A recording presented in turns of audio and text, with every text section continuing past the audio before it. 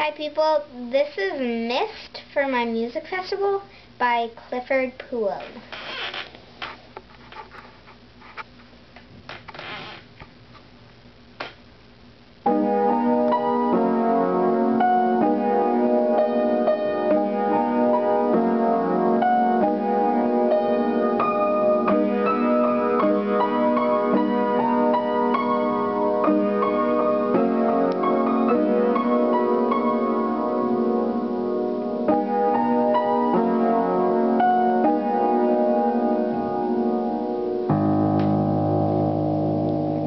Hope you guys liked it.